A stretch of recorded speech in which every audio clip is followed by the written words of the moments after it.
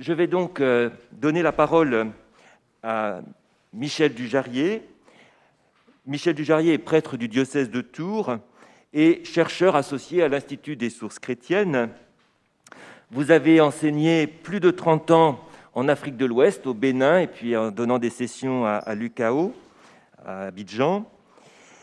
Je dois dire que l'actualité de l'Église, avec la parution samedi dernier de l'encyclique du pape François Fratelli Tutti, euh, devrait provoquer dans un second temps une ruée dans les librairies religieuses sur vos ouvrages, puisque votre recherche porte sur l'Église fraternité avec une trilogie intitulée Église fraternité, euh, l'ecclésiologie du Christ frère aux huit premiers siècles. Alors, deux volumes sont déjà parus aux éditions du CERF dans la collection euh, CERF Patrimoine, l'un en 2013 qui couvre les trois premiers siècles et l'autre en 2016 relatif au 4e et 5e siècle. Et on attend le dernier, mais vous avez dit que c'était le plus difficile à écrire parce que les auteurs sont plus difficiles ou plus euh, évanescents, si j'ai bien compris. Voilà. Ce travail donc sur un aspect de l'ecclésiologie des pères justifie amplement que les organisateurs de ce colloque vous est sollicité pour cette matinée consacrée aux facettes ecclésiologiques de la question de l'unité chez Irénée. Votre intervention est intitulée Pour Saint Irénée, l'Église est une caravane. Merci. Merci à vous. Bonjour à vous tous et à vous toutes, chers amis de Saint Irénée. La première causerie de notre colloque étonnera peut-être plusieurs d'entre vous car je vous parlerai tout simplement d'une petite expression utilisée par Irénée pour désigner l'Église. Elle est toute petite, mais c'est une heureuse découverte qui va nous révéler un aspect capital et dynamique de ce qu'est notre communauté ecclésiale. Parmi les différents titres imagés que le deuxième évêque de Lyon attribue à l'Église, il en est un qui semble n'avoir jamais été relevé. C'est celui de caravane, en grec synodia. Or, Irénée l'emploie deux fois. Nous citerons d'abord ces deux textes et nous expliquerons la signification de ce titre qui est très expressive. Ensuite, nous constaterons que ce mot a été souvent utilisé par les pères de l'Église à la suite de Saint Irénée, mais, hélas, en le traduisant seulement par le mot communauté, les patrologues ont fait disparaître le sens premier du mot caravane, qui manifeste clairement la dimension communautaire et dynamique de l'Église. Irénée fut donc le premier auteur chrétien à employer le mot synodia pour désigner l'Église. Ce mot se trouve à deux reprises au livre 3 de son célèbre ouvrage Contre les hérésies. Parmi les gnostiques hérétiques, il dénonce un nommé Cerdon qui, vers l'an 140 à Rome, vint à Rome où il manifesta son instabilité dans la foi. Au chapitre 4, paragraphe 3, il écrit Cerdon vint dans l'église de Rome et il y fit même publiquement pénitence, mais il n'en persévéra pas moins dans l'hérésie, tantôt enseignant en secret, tantôt faisant à nouveau pénitence, tantôt enfin convaincu d'enseigner dans l'erreur, il fut retranché de la caravane des frères. Remarquons bien la qualification qui est précisée ici. C'est une caravane de frères, frères et sœurs. Ses frères, bien sûr, ce sont tous les membres du corps du Christ, hommes et femmes, composant l'Église caravane. Mais dans son second emploi du mot synodia, au chapitre 15, paragraphe 1er, Irénée donne à ce mot une qualification différente. Parlant des hérétiques qui rejettent le témoignage de Saint Paul, il écrit ceux qui n'acceptent pas celui qui a été choisi par le Seigneur pour porter hardiment son nom aux nations méprisent le choix du Seigneur et ils se séparent eux-mêmes de la caravane des apôtres. Ici, l'Église est qualifiée comme étant caravane des apôtres, c'est-à-dire de ceux que le Christ lui-même a choisis comme guide et responsable de la bonne marche du groupe des chrétiens fidèles. Mais cette expression nous rappelle aussi que nous avons tous la mission d'être des apôtres, témoins témoins du Christ et de sa bonne nouvelle. Il est étonnant de constater dans ces deux citations, l'ancienne version latine a traduit synodia par le mot conventus, qui signifie seulement communauté, et ne mentionne pas le fait de marcher ensemble, qui est pourtant le sens premier du mot synodia. Littéralement, ce mot désigne en effet la caravane, c'est-à-dire le groupe de ceux qui font route ensemble. Ce substantif vient du verbe synodeo, qui est composé à la fois du verbe odeo, signifiant faire route, et de la préposition sun, signifiant avec. C'est ainsi, par exemple, que les actes des apôtres parlent de ceux qui accompagnaient Saul à Damas, les hommes qui faisaient route avec lui.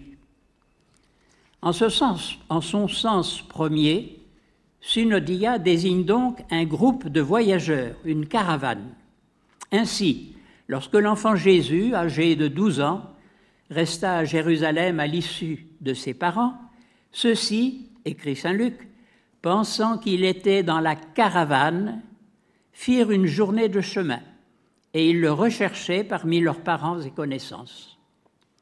L'emploi du mot synodia, en son sens fondamental de groupe de voyageurs, reste assez fréquent dans les écrits chrétiens après Irénée, en y revêtant le plus souvent sa coloration ecclésiale, sans perdre pour autant sa signification première.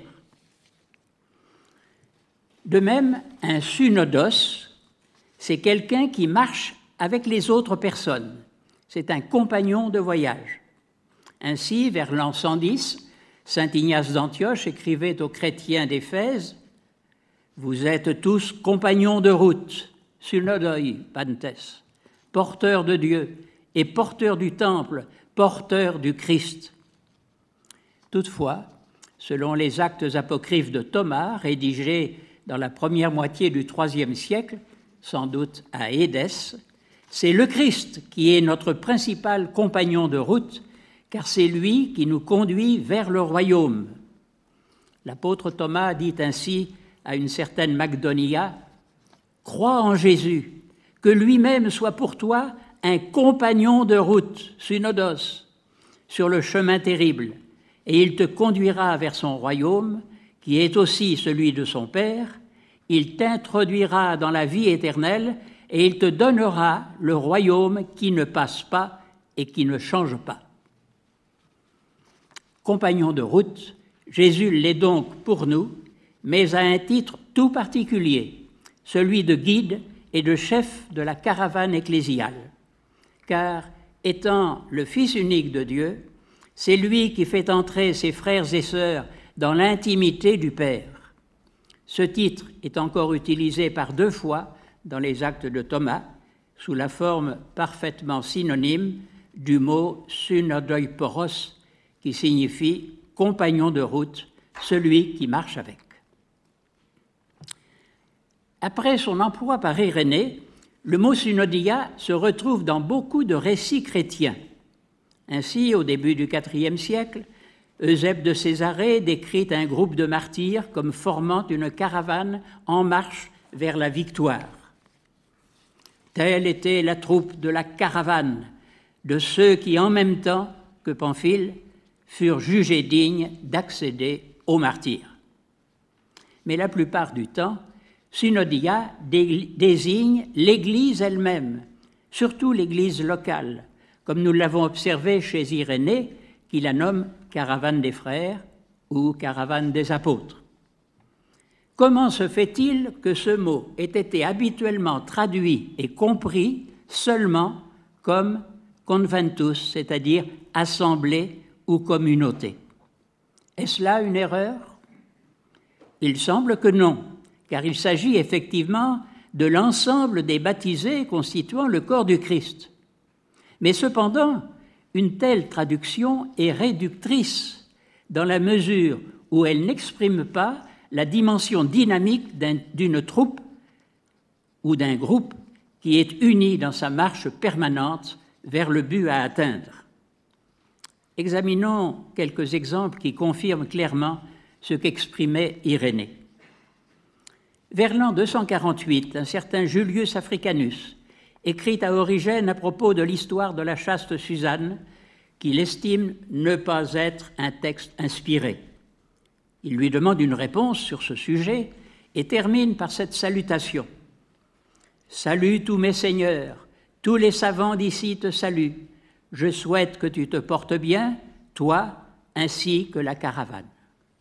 Ces lignes correspondent à la formule traditionnelle Moi et la fraternité qui est avec moi, nous te saluons, toi et la fraternité qui est avec toi, où le mot fraternité, Adelphotes, désigne l'Église locale. Dans la même perspective, citons la lettre que vers 377, Basile de Césarée écrivit à Barsas, évêque d'Édesse, qui était en exil. Nous y rencontrons une salutation du même genre. Par ton, entremise, nous saluons toute la caravane qui a été jugée digne de vivre unie à ta piété. Tous ceux qui sont avec moi Salut ta piété. Il est évident que la caravane désigne ici l'église d'Édesse, qui n'a toujours fait qu'un avec son évêque. La caravane ou synodie, pour traduire synodia si l'on peut dire, c'est la communauté ecclésiale vivante, comme le confirme l'anaphore dite de Saint Jacques, rédigée vers la fin du IVe siècle à Jérusalem. Dans le Mémento des vivants, le célébrant intercède pour l'Église qui est qualifiée successivement de fraternité en Christ et de caravane en Christ.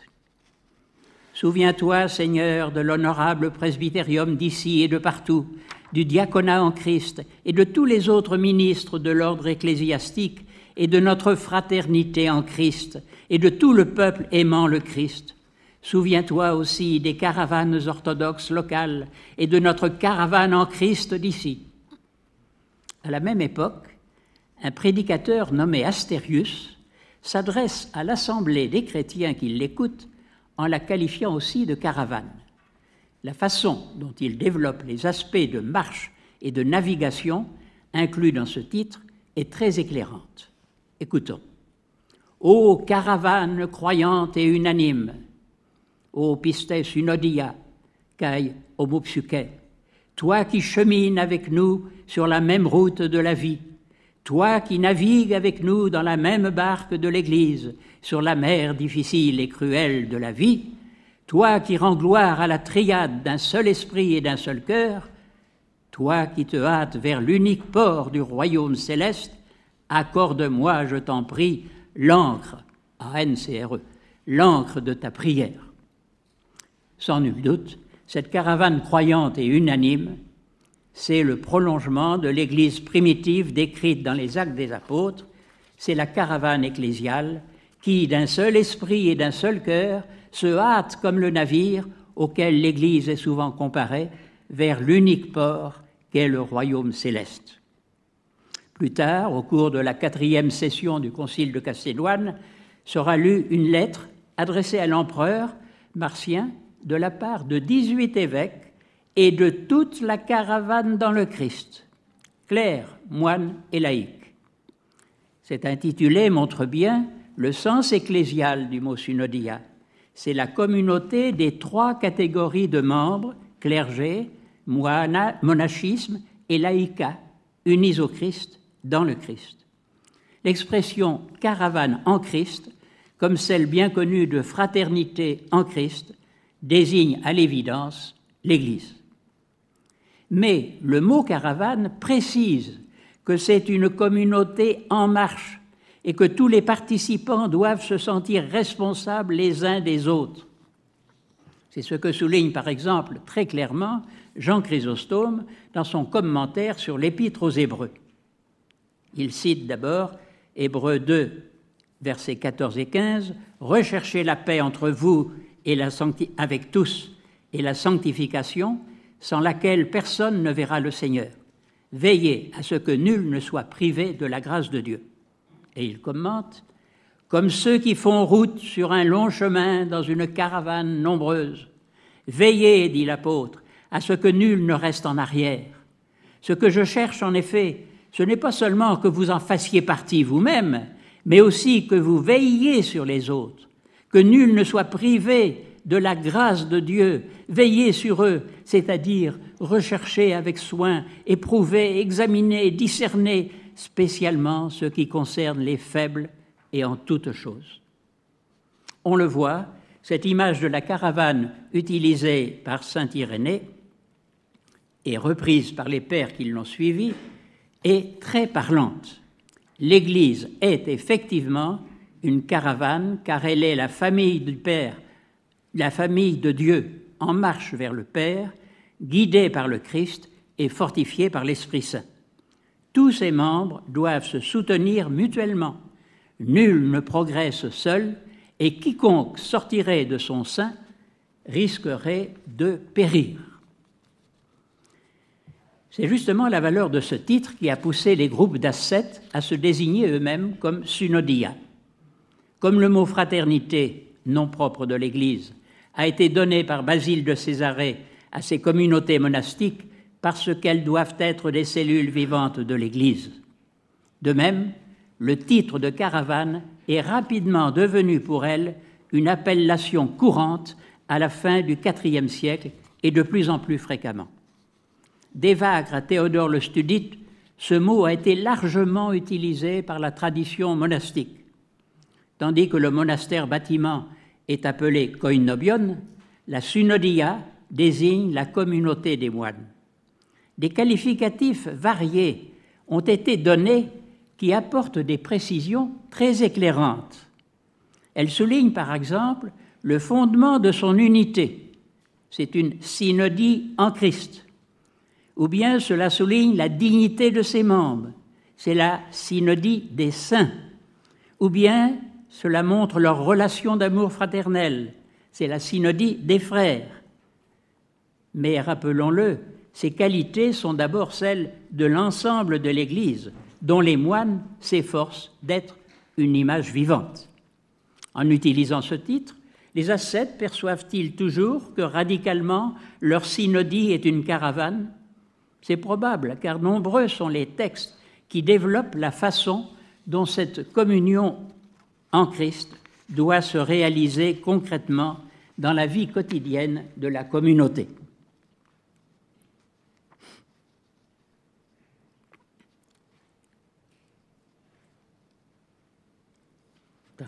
C'est ainsi qu'une homélie ascétique de Basile de Césarée souligne l'humilité qui doit exister dans la façon dont les frères servent au sein de leur communauté.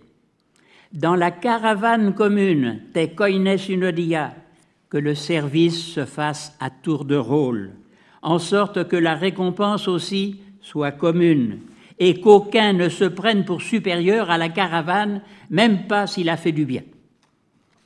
Les constitutions ascétiques, qui s'inspirent de Basile et de son frère Grégoire, décrivent abondamment le style de vie requis pour les moines qui s'y sont engagés. Si elles désignent souvent la communauté monastique du nom de fraternité dans l'esprit, pneumaticae adelphotes, cela confirme bien le caractère ecclésial de sa communion.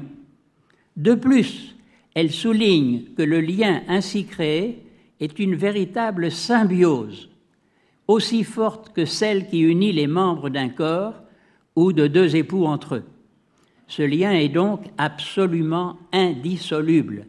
Par conséquent, celui qui quitterait la fraternité ou la caravane périrait. À l'inverse, il est précisé que ceux qui ont suivi fidèlement l'enseignement de leur père ou maître sont devenus les serviteurs du Christ, ou pour mieux dire, ses frères, puisque le Christ a voulu les appeler ainsi digne de connaître la familiarité avec lui. Cette communion se renforce sans cesse pour parvenir à la vie commune parfaite que sera le royaume définitif. Et le texte continue, ils s'entraînent les uns les autres à progresser dans le bien, ils sont en toute égalité serviteurs les uns des autres et maîtres les uns des autres, ils anticipent sur les biens du royaume promis, leur vie vertueuse et leur communion imitent exactement la vie et la condition du ciel, ils sont maintenus ensemble par le lien du Saint-Esprit.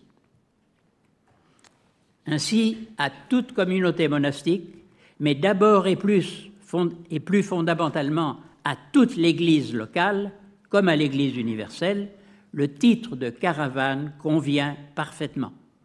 À celui de fraternité qui est le plus employé, il ajoute cependant une triple qualité, à savoir les trois aspects que comporte le mot français caravane. C'est une communauté en marche d'abord, qui est fidèle à suivre son guide, le Christ, et qui est sans cesse tendue vers le but qu'elle veut atteindre.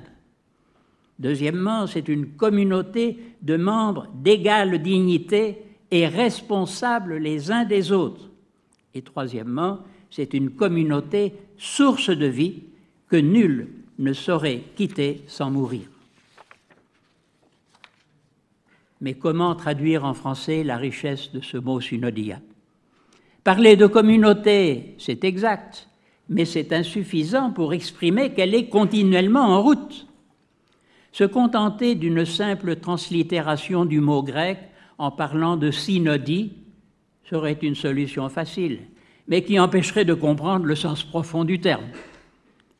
Préférer caravane permet de mieux souligner à la fois son dynamisme de marche, sa dimension de groupe vital et la responsabilité réciproque de ses membres. Mais, attention, beaucoup risquent de n'y voir tout simplement qu'un cortège de personnes qui suivent passivement leur guide. Alors, il faudra choisir l'expression la plus apte à faire percevoir que l'Église est une communauté toujours en marche vers son but, une caravane de frères et sœurs, une caravane d'apôtres, dont tous les membres sont unis dans une solidarité active et vitale. De toute façon, il est évident que ce titre de caravane synodia nous invite à redécouvrir le dynamisme de notre Église. Car même si ce mot Église, ecclésia, est d'usage courant aujourd'hui, vous savez comme moi qu'il reste hermétique et très peu entraînant. Notre pape François nous en a donné un exemple concret déjà en 2014 dans son exhortation apostolique intitulée La joie de l'Évangile. Nous y retrouvons le vocabulaire concret et dynamique de Saint Irénée quand il déclare De nos jours, alors que les réseaux et les instruments de la communication humaine ont atteint un niveau de développement inédit, nous ressentons la nécessité de découvrir et de transmettre la mystique du vivre ensemble, de se mélanger, de se rencontrer, de se prendre dans les bras, de se soutenir, de participer à cette marée un peu chaotique qui peut se transformer en une véritable expérience de fraternité, en une caravane solidaire en un saint pèlerinage. Oui, recueillons avec joie la variété et la richesse du parler biblique et patristique. Efforçons-nous d'intensifier notre engagement pour que notre Église soit effectivement et de plus en plus la caravane de frères et sœurs et d'apôtres voulue par le Christ et décrite par Saint Irénée. Bonne et joyeuse route à vous tous ou plutôt à nous tous, dans notre Église caravane.